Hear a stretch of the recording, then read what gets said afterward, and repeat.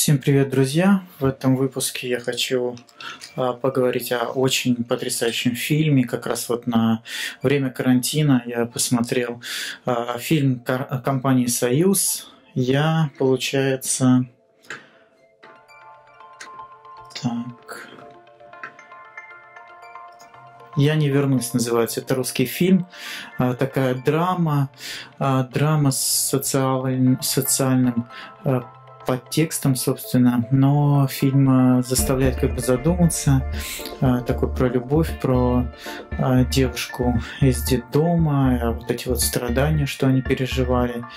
И очень много философии, не затянуто, не нудно.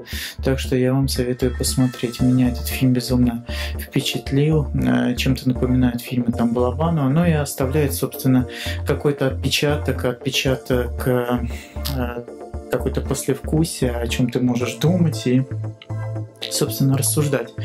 То есть фильм не пустой. А, также есть английские субтитры в нем.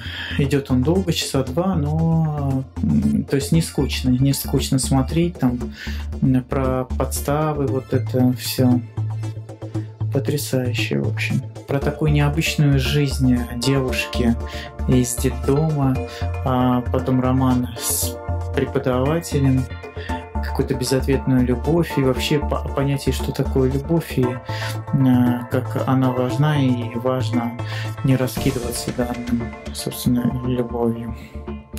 Ну, очень драматическая, потрясающая вещь. Советую вам.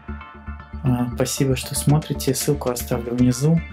У них есть э, канал YouTube, я вот смотрю на канале Союз. Это очень потрясающе. Спасибо, пока.